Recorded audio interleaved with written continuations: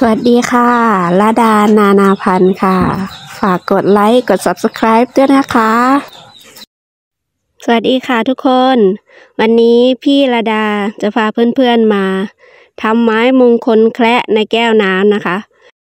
ซึ่งอันนี้คือ ท่อนพันธุ์ของอโกนิมาบัลลังเงินนะคะ พอดีพี่ชำไว้กับขุยมะพร้าว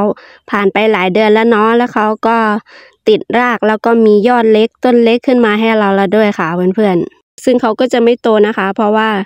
ในขุยมะพร้าวอะ เขาจะไม่มีปุ๋ยหรือว่าไม่มีแร่ธาตุอะไรเลยนะคะ พี่ก็จะเอาเขาออกมาจากขุยมะพร้าวเสร็จแล้ว พี่ก็จะล้างน้ำล้างต้นล้างรากเขานะคะ ให้สะอาดนะคะ ก่อนที่จะนำไปลงในแก้วน้ำกับเม็ด popper นะคะ ซึ่งวันนี้พี่จะใช้แก้วน้ำกับเม็ด popper ในการเลี้ยงเขานะคะ คือเราเลี้ยงไว้ในแก้วนี้เลี้ยงไว้ทำไม คือพี่จะเลี้ยงวางไว้ที่โต๊ะค่ะ ก็อยากจะรู้ว่า เออ เราสามารถเลี้ยงเขาเป็นไม้แคระได้หรือเปล่า พี่ก็เลยเอามาลองทำดูนะคะ ทุกคน อันนี้พี่ได้มาแล้วนะคะ พี่ก็จะใส่เม็ด popper ลงไปรองก้นรองก้นแก้วนิดนึงนะคะ อ่าแล้วหลังจากที่ใส่ลงไปแล้วประมาณกำมือหนึ่งนะพี่ก็จะเอาค่อยๆเอาเจ้าต้นบัลลังก์เงินของพี่เนี่ยค่ะ ค่อยๆหย่อนลงไปแล้วก็จัดเรียงรากของเขาให้พอดีนะคะ คือจะไม่ให้รากเขาได้รับการกระทบกระเทือนมากนะคะ ทุกคน เราก็จะจัดเรียงให้แบบจะเอาต้นเขาไว้ตรงกลางแก้วเนาะคือรากเขาได้แล้ว ต้นเขาตรงกลางแก้วแล้ว พี่ก็จะ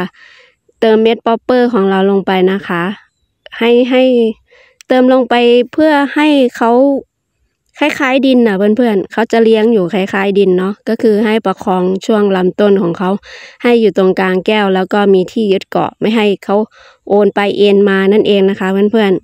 ๆ ซึ่งเราก็เติมลงไปเกือบเสมอท่อนพันเลยนะ แต่ว่าคือพี่ก็ใส่แค่ให้ประคองต้นเขาได้อยู่เพราะว่าพี่จะเติมน้ำอีกรอบนะคะ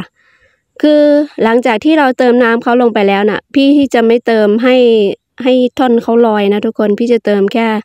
ให้น้ำเสมอเม็ด popper ของเรานะคะ และหลังจากนั้นก็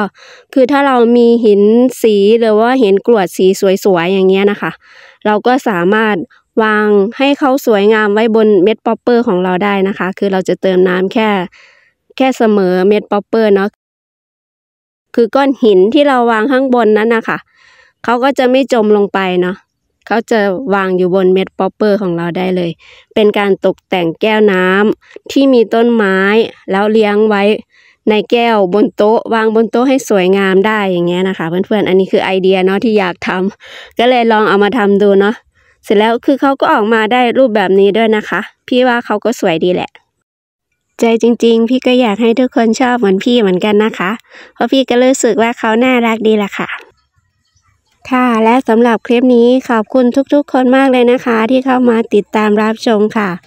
พี่ลาไปแล้วนะคะ สวัสดีค่ะ บ๊ายบาย